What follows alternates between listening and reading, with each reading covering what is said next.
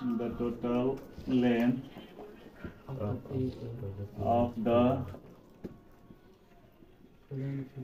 boundary line of the plane figure is known as perimeter भन्नुको मतलब कुनै पनि प्लेन फिगरहरू कुनै पनि प्लेन फिगर है? प्लेन फिगर भन्नुको मतलब such type of figure those who have length and breadth that means two dimensional figure है?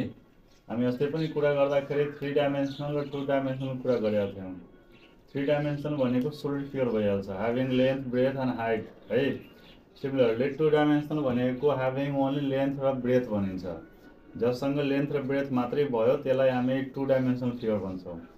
र जुन फिगरहरूको टु जुन फिगरहरू टु डाइमेन्सनल फिगर हुन्छन् उनीहरूसँग उनीहरूलाई हामी प्लेन फिगर भनेर इन्डिकेट गर्छौँ अथवा जान्ने गर्छौँ बुझ्ने गर्छौँ। भने कुनै पनि फिगरको यदि पेरिमिटरको कुरा आयो भने उसले बनाएको उसले जुन बााउन्ड्री जुन घेरेको हुन्छ आफू आफूलाई बनाउनको लागि त्यसलाई हामी प्लेन फि त्यसलाई तिनीहरूको टोटली मेजरमेन्टलाई हामी पेरिमिटर भन्ने गर्छौँ। अब सपोजको लागि यदि कुरा गऱ्यौँ भने यदि मानौ हामीसँग यो एउटा ट्रेङ्गल सेप दियो है। अब यो ट्रेङ्गल सेपमा हामीसँग यहाँ एबिसी है तिनवटा साइडहरू छन्। यहाँ एउटा बीदेखि सीसम्म एउटा लाइन छ। त्यसै गरी एदेखि बीसम्म एउटा लाइन र अर्को एदेखि सीसम्म अर्को थर्ड लाइन छ है। अब यो थर्ड तिनवटा लाइनलाई जोइन गरेर बाइन्ड गरेर एउटा हामी ट्रेङ्गल बनाएका छौँ।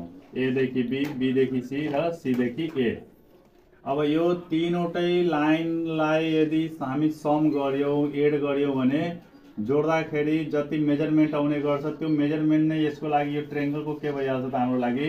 पेरिमिटर भनेर भइहाल्छ है पेरिमिटर भइहाल्छ। जसलाई हामी जेनरलीमा सम अफ अल साइड्स भनेर भन्छौँ। यदि if we have given a plane figure जे इन जेनरल फर्म यदि कुनै पनि प्लेन फिगर दिएको छ भने उसको पेरिमिटर इज इक्वल टु हाम्रो भइहाल्छ। पेरिमिटर इज इक्वल टु भइहाल्छ sum of all sides sum of all sides किनभने हाम्रो डिफिनेसनले के भनेको छ the total length of the total length of plane figure है the total length of plane figure the total length of the boundary भनेको छ टोटल